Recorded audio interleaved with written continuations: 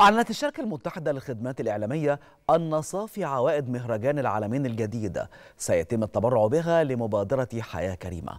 وأكدت الشركة أن هذا التبرع يأتي إيمانا منها بالدور الذي تلعبه المبادرة في توفير حياة كريمة للفئات الأكثر احتياجا كما تهدف إلى التخفيف عن كاهل المواطنين في الريف والمناطق العشوائية في الحضر بالإضافة إلى الارتقاء بالمستوى الاقتصادي والاجتماعي والبيئي للأسر في القرى الأكثر احتياجا.